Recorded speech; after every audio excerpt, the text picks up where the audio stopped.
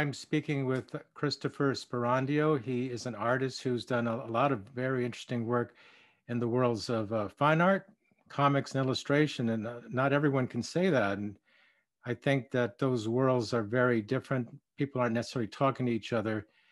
And so we'll just uh, jump in, uh, Christopher. Uh, thank you so much for, for participating in this.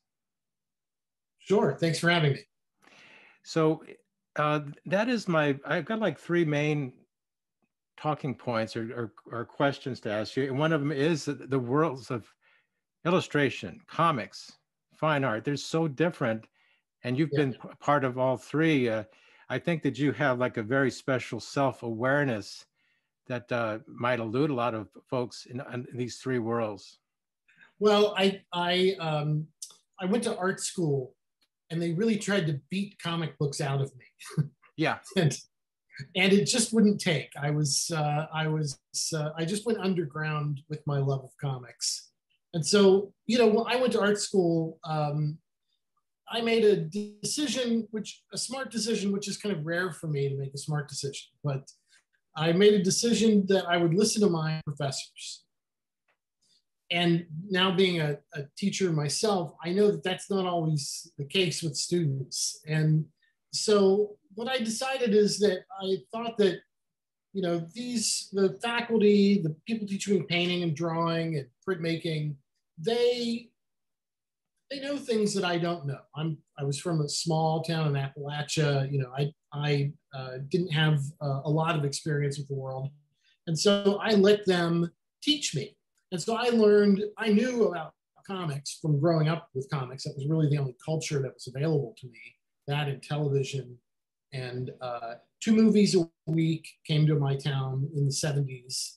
Um, and so, uh, so I knew comics, but I didn't know color theory and I didn't know modernist painting. And so I learned all of that um, sort of on purpose uh, before um, jumping back into comics? Well, this is a, a super treat for me. We're both uh, the same generation. We're both the same outlook in a lot of ways. I think uh, Gen Xers, this is like a, a, broad generalization, but I think they took things a little more seriously. They loved novels. They wanted to write novels. They wanted to do paintings. They wanted to follow the rules to some extent, also be rebellious but uh, it seems like we were willing to go the extra mile. It wasn't, there was no internet, of course. Everyone talks about that, but it seems like that generation uh, uh, was a little more self-conscious, a little more, am I following the rules correctly? And, and is, the new generation is more like, can you just hand it over to me? Let's get on to the next thing. In, in general, just being a little tongue in cheek there. Yeah, I mean, I um, I uh, I don't know how I would characterize. I guess because I'm surrounded by young people all the time, and and and they are forever young, and I am just getting older all the time. I try to, I I try to hear them.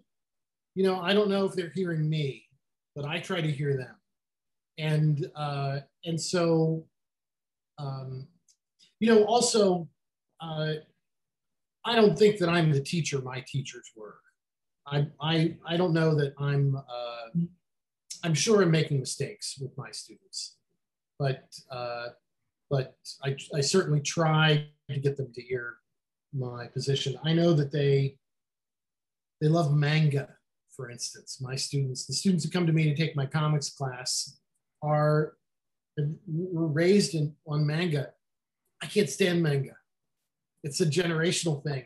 I don't know about you. Are you a manga fan?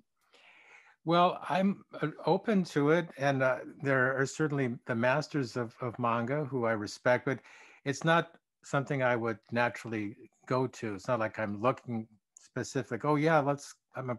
I'm not a uh, hard follower of that. Yeah, yeah, me either. And so, uh, you know, so already there's this huge chasm between my students and me um, you know, I think I think I'm talking their language. Maybe I'm not. I, you know, teaching, teaching and making they kind of go hand in hand. You know, I don't know that that the work that I'm making, you know, hits all the time either, right? I mean, anything that we do, it's kind of a crapshoot.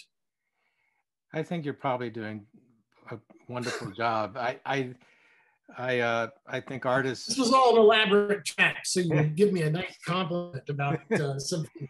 Well, artists are very artists are very self-deprecating, and so we have to be careful. We have to give ourselves our, our due as well. But let me jump into uh, this uh, sort of like a slideshow. We can have fun with that. Okay. Now, I, I'm so curious about this because this is like where you began. Yeah. And it's a bunch of, of chocolate bars. And uh, it brings me to uh, to that question that I started to ask. Uh, well, I asked you about the, the worlds of illustration, comics, and fine art, but you seem to be like a purist. You've always wanted to to do something that, that without compromise. Is that like a good? Is that fair to say?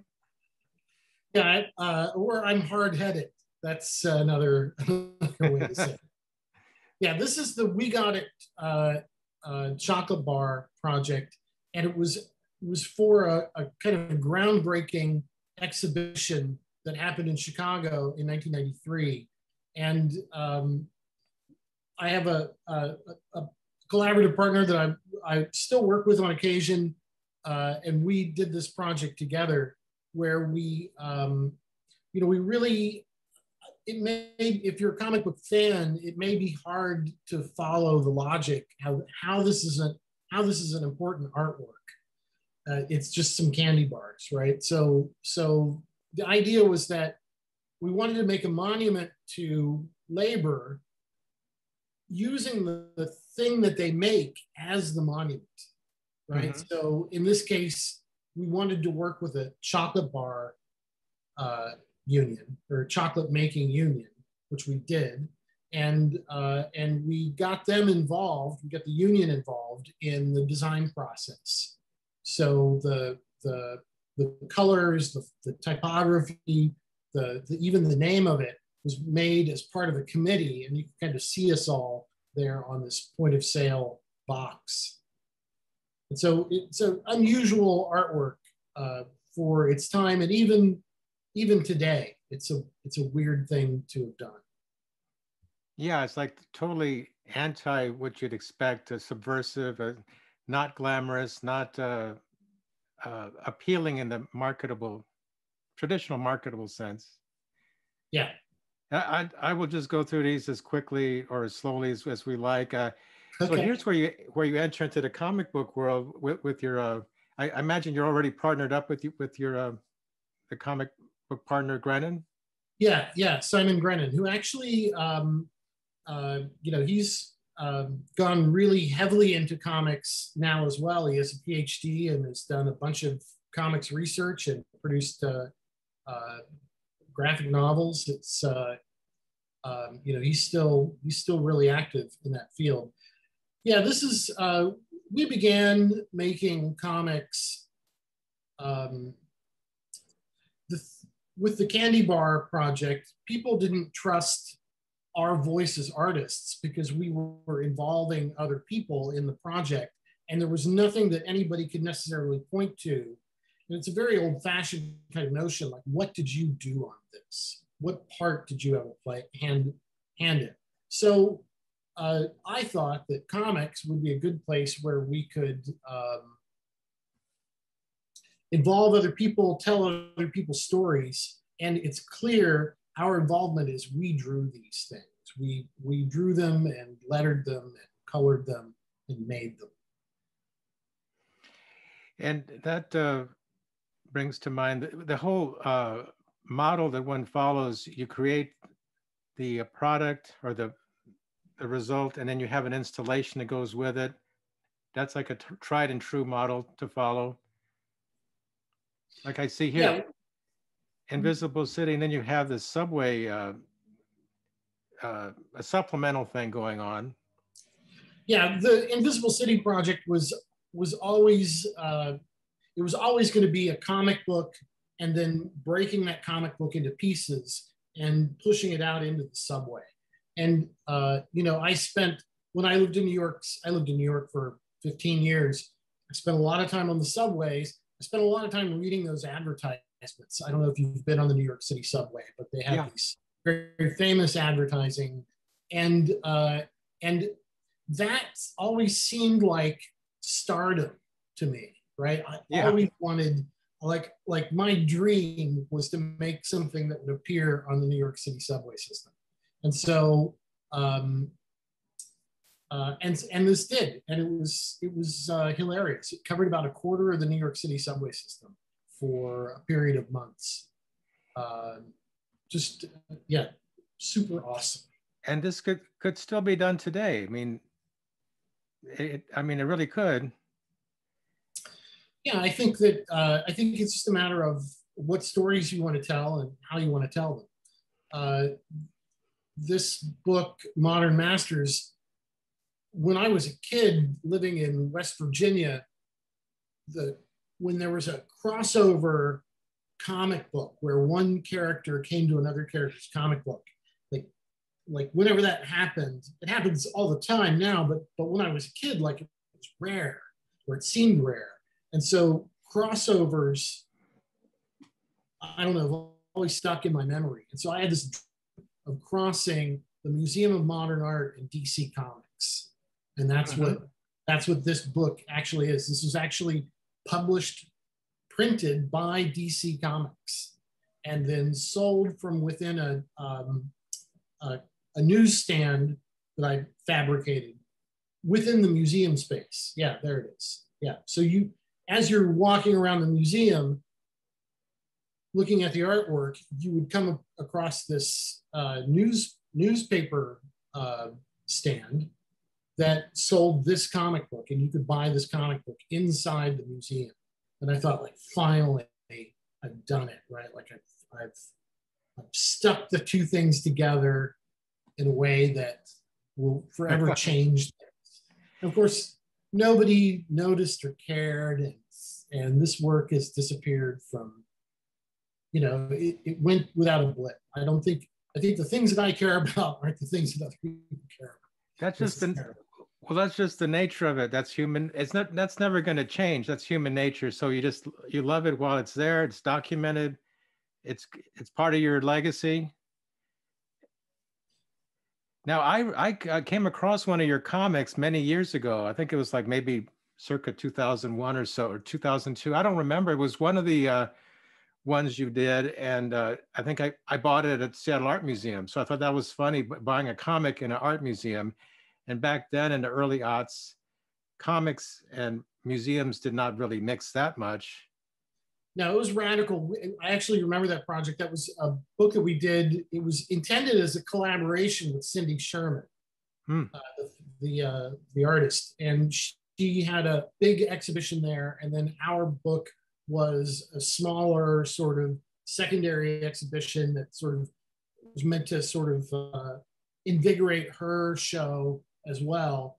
And um, uh, you know, it's it's. Uh, I think it was fine. I think it was okay. It was fun to do, you know, and, and, and I get to spend some time in Seattle, which was nice. And here's another example of the uh, comic and then the installation. This one really intrigues me. Could you chat a little bit about this one? Yeah, so this is um, uh, the Hatton Gallery in the UK. Um, most museums aren't called museums; they're called galleries. So this was actually the Hatton Museum, and the way we think about it, gallery here, one thinks of like you know commercial establishment, but this was a this was a, um, a space that had a collection and they gave us sort of uh, carte blanche to do whatever we wanted to. So we made a comic book involving folks around the museum. And then we took elements from the comic and really just went sort of nuts with um, the themes that we painted.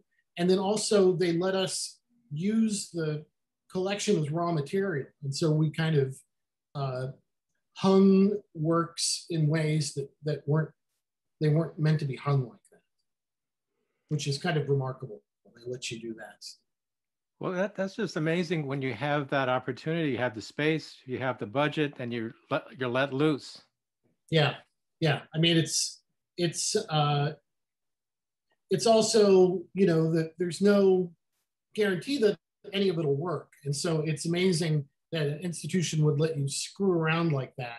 Like, I mean, we think it's going to work, we think it's going to be okay, but you don't know. You know, eighty thousand square feet is a lot of room to go wrong. And this was well before you uh, became a, a professor. Before you were just Yeah, an, you were just an artist, right? At that at this point. yeah, I was still living in New York, and um, uh, and yeah, I I uh, I think I was doing a little bit of graduate advising in Chicago, flying back and forth between New York and Chicago. Well, this is going to be like a, a little mini uh, master's course for, for artists because I know that that's the big, big, big question. Do I go on to get a master's degree? And then what do you really get from a master's degree? And from my observation is, well, it's an investment. You, it's a, it's a lab. So you just, you just treat it as a lab and you get your credentials. And I guess that's the most valuable thing, isn't it? You get the, the credentials. I think graduate school gave me everything. You know, I had Really? a good, I, yeah, I had a good undergraduate education. I'm, you know, like I speak to my uh, uh, former professors on a daily basis. We're part of a chat chain. Oh, that's great. So I'm, you know, we're constantly in touch with my undergraduate professors, my graduate school professors, not so much, but you know, that graduate school experience, it was a crucible, you know, they really, I was forged in fire. You, Uh-huh. uh, um, we, we were on the quarter system and each quarter you had to stand up at the end of the quarter and defend what you were making to sometimes as many as 45 people. And, uh, and you sank or you swam, you know, you, you could, you either articulated what your work was about and your work did that thing or uh, or it didn't and then and then the knives would come out um, and also the relationships i met Grennan in graduate school and and i uh, i got to experience chicago for four years which was wonderful i i think um, and you know like it was a state university university of illinois in chicago uh, so they had graduate stipends. So I didn't actually ever pay tuition to go to graduate school. Oh my God. I paid fees. And there are a lot of great state universities all over the country that have good faculty, great facilities. It's just the luck of the draw. I think more of the students that you get in there with is, is more, uh, and it's random, right? Like whoever shows up is whoever shows up, and there's no programming. You can't you can't manipulate that in Oh, any way. So yeah. I think graduate school, it, for me, it it uh, it set me on a path. I loved it, and I recommend it to my students. You know, if you want to be an artist, uh, why not take two more years and let somebody pay you to go to school and meet all sorts of great people. Well, that's my, uh, I guess, kind of a regret because I, I did want to do it, but uh, there were a number of factors working against it, and uh, and then I had just had to jump into the job market. So I and I just, it was like once you're in the job market, a day to day day job situation, you're not the type of person who's considering the stock market. You're not the type of person who's considering grad school necessarily, but um, and I know older students go in, so I I kind of thought, well, maybe I could come back to it but uh, yeah, You absolutely can, and you absolutely should if it's something you love. I, I, I, you know, everybody's experience is going to be different. Um, I was, I was lucky. Yeah. well, I'm. I, it's nice to hear that from you. Um, now, here's the whole bunch right here. uh, Now, uh, yeah, I, I think this is just uh, wonderful. Did you just get to a point where you wanted to take a break from it, or you do you think? I mean, you've you're kind of branching out in a whole new direction all, all your own now with uh, Pinko Joe and Greenie Josephinie. Do you see a thread running through from this to what you're doing now? Well, I thought that that these books, these older books that I did with Grennan were changing the world, and they weren't. and so, and so that was my goal was to change the world. it didn't didn't work out. Um, and uh, I think the thing that changed for me is, you know, I I um, uh, I took this job at Rice University, and um, excuse me, and I got I got tenured, and when I when I got tenured, I I which is you know job for life, unless I commit a felony, you know, it's a good it's it's a it's a good job to have. Oh sure. Um, uh, and I spent about three months sort of lying in bed with the blankets over my head, just sort of uh, miserable. Like, oh, like I'm tenured now, I'm dead. Like, what am I, what, you know, there's nothing left for me. And then, and then nobody tells you about post tenure depression. But once I got over my post tenure depression, then I realized that I could do anything I wanted to do. Nobody could say anything to me about it. And so um, one day you know, I've been looking at, at uh, public domain comic books for a long time. And one day the idea just hit me, uh, which is sad that it took me so long for this idea to hit me because it's pretty obvious one. And I just started working on Pinko Joe. Well, it sounds like uh, eh, life can just be a bunch of leaps of faith, and one little project leads to another project you just never know. Eh, I really love these. Eh, this is just a lot of fun stuff. It, it seems like you, once you got going in, in, that era around 2005, 2006, you were like, you were doing really well there. And you all this European stuff going on too.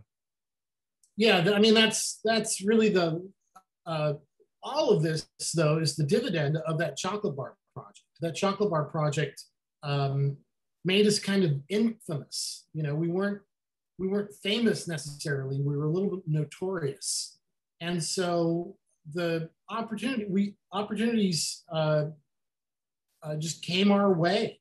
Uh, we really love the chocolate bar project. We'd love you to do something here. We love the chocolate bar project. We'd love you to do something there. Uh, and so it was really terrific. You know, I, I, we didn't really have to struggle to get uh, get these opportunities. And you know, the work that we made, uh, like I I really enjoyed this Soy Madrid project. It's fairly toothless in terms of you know, it's not politically minded at all, but uh, but still lovely to do uh, to to do work in Spain. Just tremendous. Yeah, I, I, think there's a lot to be said for, for doing the work that's not political. You don't take a stand either way. just celebrate people. Here's another one of your. Uh, this is from London again, or uh, in England, Sussex, Sussex Galleries. The Brighton Museum. And then uh, the whole thing with the with Artstar, I managed to find a clip of it, which was really funny. Um, this one girl was very very snarky that might be the only surviving easy to find clip. But uh, now this one seems like it was something that maybe you guys were thinking, oh, there might be a way to, to turn this into a franchise. Maybe there's some money to be made, or, or what's the story behind it? Well, um, uh, in the late 90s, uh, Abby Terkuhle, who was a executive producer over at uh, MTV Animation, saw our comic books and invited me in and basically gave me a little development deal. And so I spent four years, sort of the late 90s, early 2000s, uh, basically making pilots for animated shows that never got made, never went into production. And so after Abby left uh, after they, they closed MTV Animation, which was, you know, really awful thing to do because uh, uh, it was really tremendous uh, enterprise. Uh, Abby invited me to continue pitching ideas with him. And so I, I continued to come up with ideas for TV shows. Of course, uh, in the like 2004, 2005, the only thing anybody wanted was some kind of reality show. And so I came up with an idea for a reality show um, that was basically just a ripoff of American Idol. uh, because you know, I, I I felt like the real art world is never seen, right? Like the struggle yeah. that artists go through is invisible. Yeah. You know, you see the the glamour and the parties, and you see the the high dollar signs for the sale of work, but you never see sort of like just the the daily grind of what it takes to sort of enter the process. So uh, I I felt like it was a good it was a good effort to try to do that. And so it got picked up. It um, it got uh, picked up for two seasons. We did two seasons, and then 2008 the the market collapsed, and and that it took you know it took so many things out with it, and one of them it took was a third season of art star Is it available uh, anywhere? Can you get you know, seasons? It's um, it was showing on Ovation for a while. Oh. I see it come up on there every once in a while. You know, there isn't a lot of of serial arts programming, and so it, I think it's probably too old now to get. It's been, you know, what, 15 years or whatever. Um, yeah. Well, uh, not to go down too much further on that, we, we, uh, we'll move on to here, conflict theory, which I think is a really intriguing uh, installation piece. And I, I, watched a little movie uh, accompaniment to it. And it's funny because there's uh, some uh, very uh, spooky comments that are made because this is 2010. And, and you, I think you say at some point, well, this is Ann Arbor, not, not Ann Arbor. The idea is you create a war zone, you have your participants in a war zone that's actually their hometown, so it makes them rethink war. And you say, well, this isn't an insurrection. It's, oh, good. that's very uh, uh, interesting that you'd say that. And then the pieces are, are black and white, which of course that's relevant today. Uh, what can you, what would you like to share about that with us, this, this project? Well, this was fun. I was invited to spend uh, a semester as an artist uh, at the University of Mich- Michigan's uh, art school and I was it's basically a kind of fishbowl type experience where the doors were open and people can, can come in and out as I'm working to develop an artwork. And um, I'm uh, growing up, of course, in the 70s, uh, Dungeons and Dragons and all these sort of paper and maps and dice games are, you know, in, baked into my DNA. I love, I don't play games, but I love games. Uh, and so I knew that I wanted to make a game. Um, and I knew that I wanted to make a game about civil unrest. And so they have marvelous facilities there. And I got a bunch of students and people from outside the school involved. And we made a giant sort of um, war game, like very old fashioned in a way. Um, with uh, chess-like figures. So there's a you know white side and a black side, um, and then sort of the neutral gray uh, of the game board.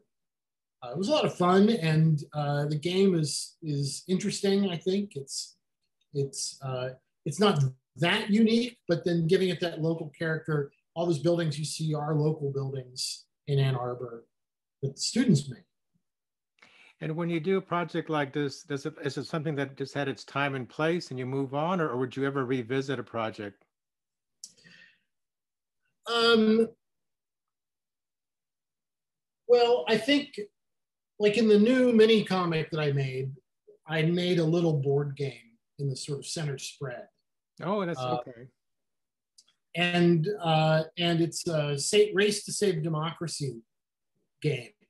Uh, and I made it on, uh, I started making the game on January 7th. Mm-hmm. Um, and I knew that I, I just knew that I had, um, I had to say something about the insurrection. And so turning it into a board game seemed like a good idea to me. I don't, you know, you do things, you don't know why you do them or. Yeah. yeah. There we go. Here, this is really uh, close to my heart. I, I'm Mexican American and, and a, a cartoonist, and so this is wonderful. Did you get a copy of this? I, I didn't get a copy of this one. If you email me your mailing address, I'll send you. Oh, well, thank you. My pleasure. Yeah, this is uh, uh, this turned out really. I think it turned out really great. It's mostly um, uh, facsimile. So I love the facsimile comic books. I don't, you know, the the like IDW puts out. Have you ever seen those? The oh yeah, the giant oversized. So this is a, um, and I love those. So I wanted to make one, and luckily the the original art uh, is this size. You know, oh. I didn't have to make a giant book. Oh, that's great. Yeah, the original uh, Mexican comic art is tiny. This is this is the art for a complete book.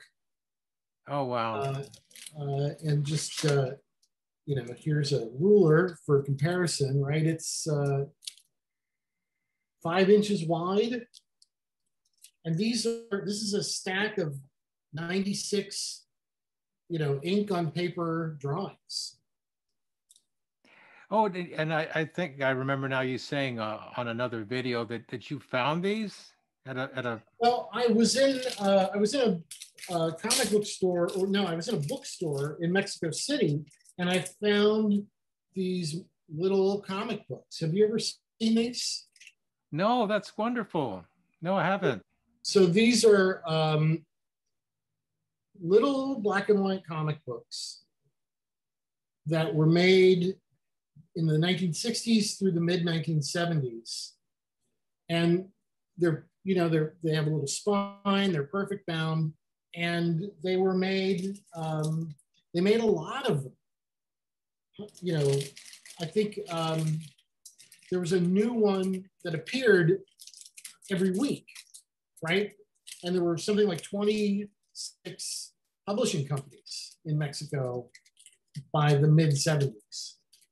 Um, so yeah, there was a lot of the Mexican comic history is just incredible, and there really isn't a lot that's said about it, which is uh, perplexing to me. So I fell into, um, I ran into a dealer. He had these things, and he sold them to me for a dollar a page, the hmm. original mm. art, and he had the complete art for 15 books. Wow. Right? Not just a page from a book, but the entire thing. And I thought, you know, I don't speak Spanish, I'm not Mexican, but by God, I'm an artist and a human being. And yeah. I'm gonna I'm gonna take these things and I'm gonna hold them until somebody more qualified comes along and can take them and you know and do what's right for them.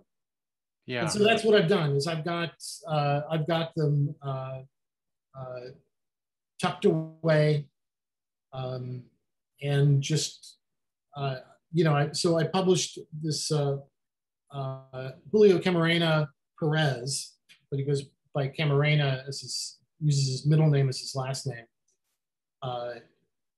just a tremendous talent, amazing. I think an amazing artist. I I would challenge you you know, maybe a few of the artists working at Marvel, maybe a couple of the Italian comic book artists, but but he's uh, churning these comics out at an incredible rate in the late 60s, early 70s. And so I I uh, I found some funding at the university, and I thought, you know, right, we're just gonna publish a book about about Camarena, and so that's what we did. Well, that's mind blowing. I, I, that is a major thing that you've just done. And here's a little piece of uh, the installation, or, or, yeah. So before we published the book, I did um, I did an exhibition. Um, I previewed it in Berlin. I, I I was an artist in residence at a little artist residency space called Somos in Berlin, and did a, a little preview exhibition there. Took 25 works with me in my suitcase you know, they were they're tiny. Hmm. Um, and then this is uh, the installation here in Houston.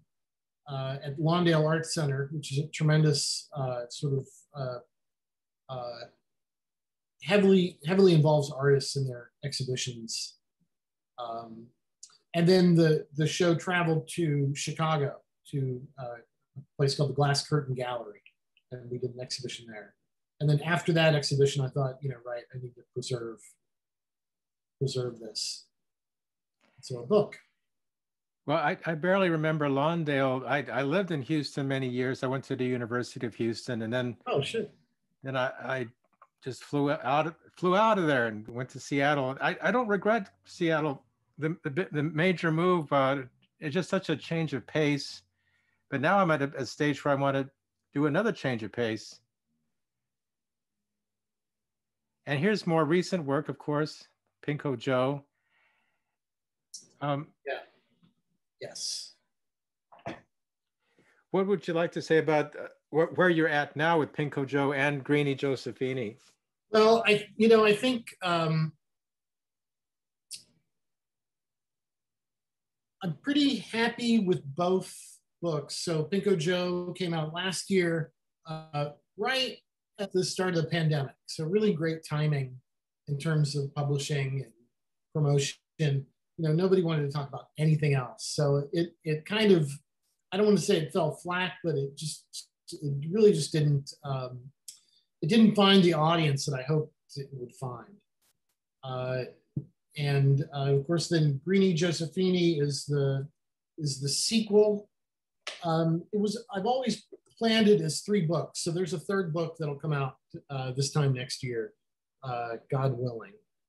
Uh, uh, and the you know it, just sort of me chasing this sort of idea i have about comics making now um, uh, you know around the tree a couple of times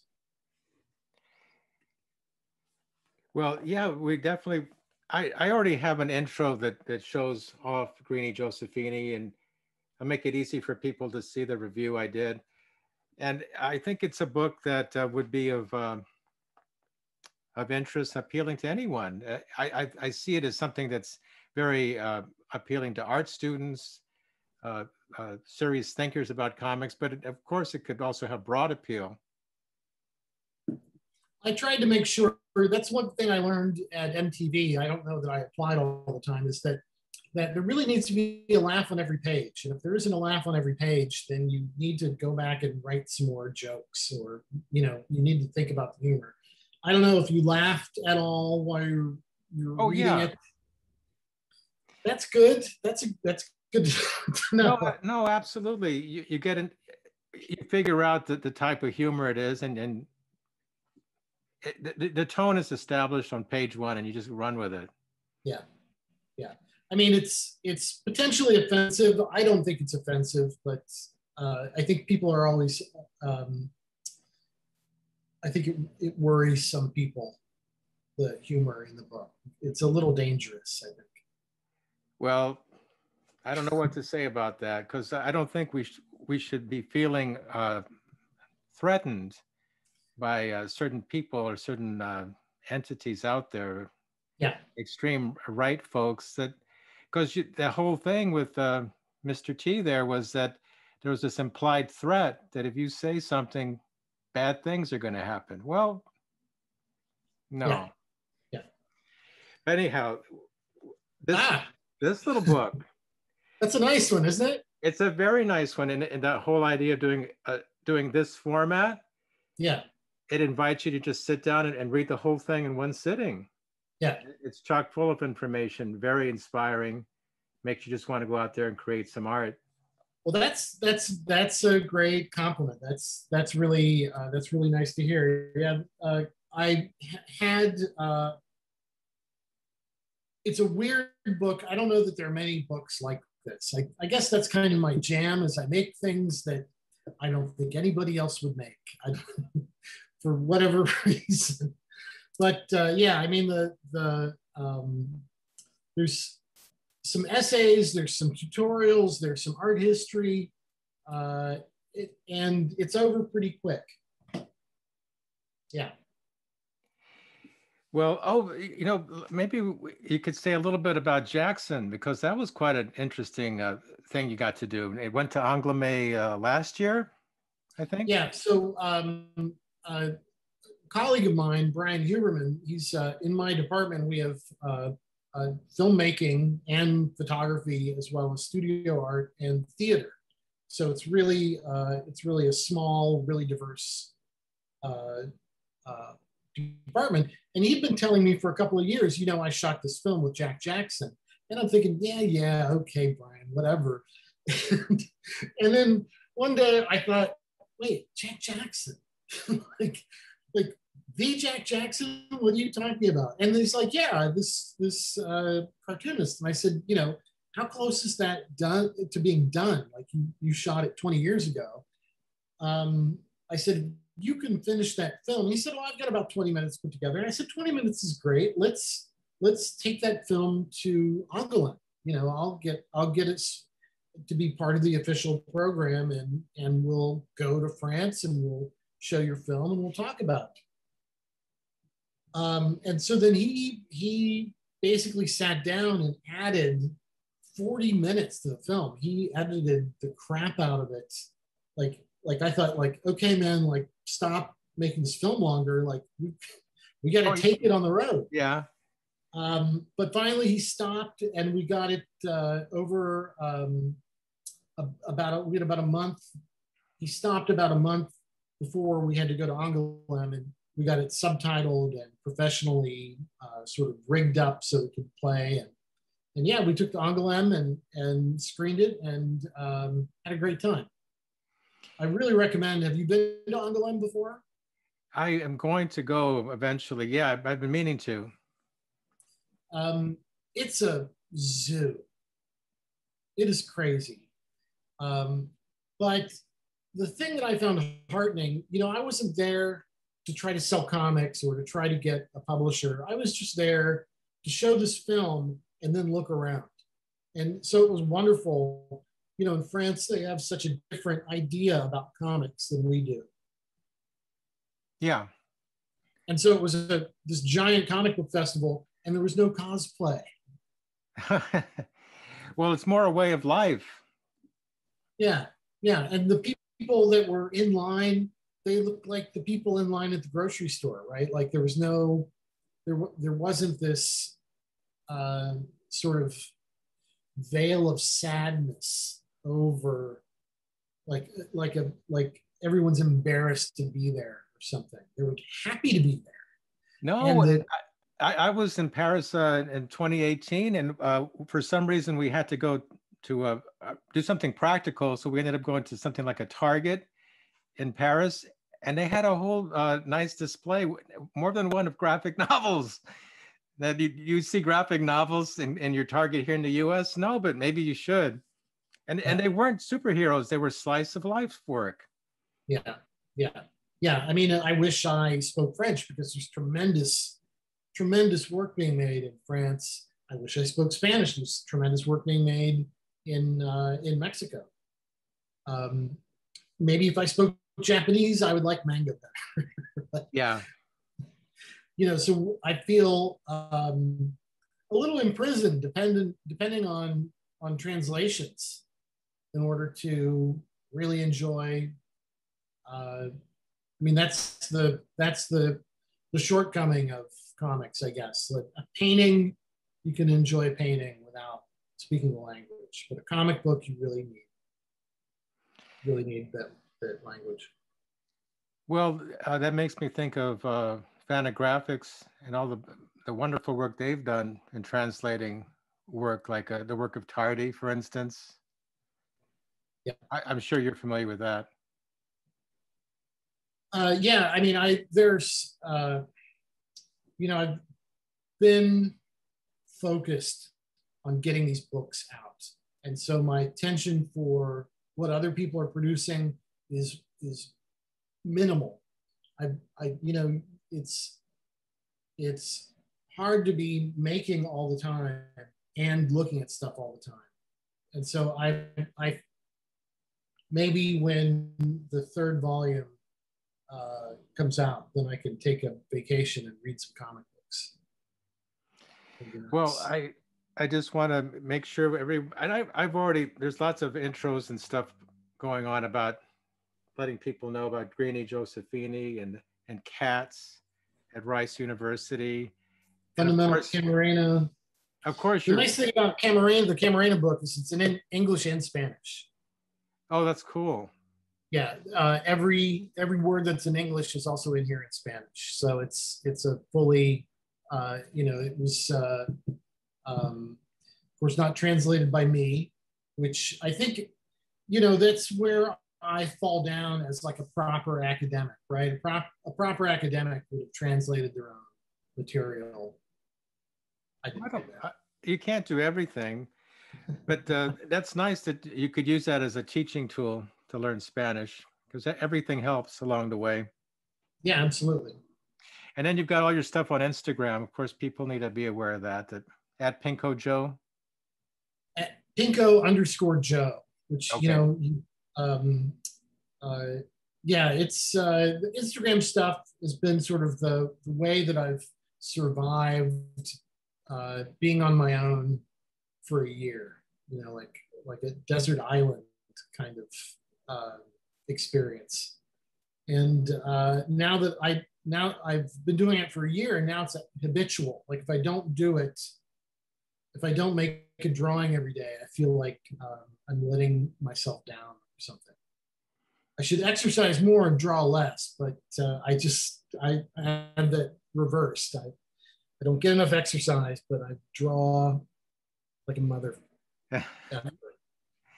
well, it sounds like you got it just right in your, in your routine, and so cool. I I think that's wonderful.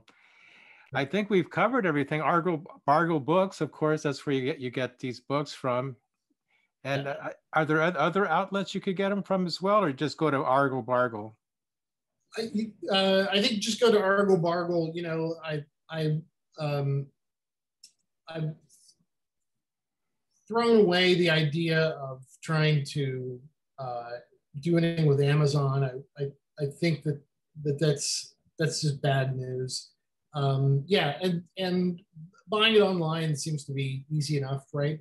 Everybody yeah. buys everything online. Just this is where you buy it from. Yeah, the days of distribution are kind of gone, right? Yeah. Uh, yeah. So yeah. Okay. Argle, ArgleBooks.com. It's the name just rolls off the tongue. It's such a great once you hear it, you can't forget it. ArgleBargleBooks.com. So well, and, and I'll plug the publisher as well, Stan Waney. He's a terrific artist in his own right. He's got yeah. a book coming out with uh, Conundrum Press, uh, I think in the fall. Uh, it's uh, it's really a labor of love for him. Um, he just had uh, um, uh, Jonathan McBurney is the new book that's coming out from Argle Bargle in addition to mine. So they're, um, you know, Stan is uh, uh, an amazing artist, and so and so he's. I think he's got a great eye. It's such a pleasure to be a part of his his uh, publishing venture. Well, yeah, I was very impressed with him. I, I saw you guys on a panel about protest art, and it was featuring Sue Coe. Yeah. And yeah. Very good stuff. Well, th- thank you Thank you very much, Christopher. I really appreciate this. Sure thing. Yeah. Happy happy to be here.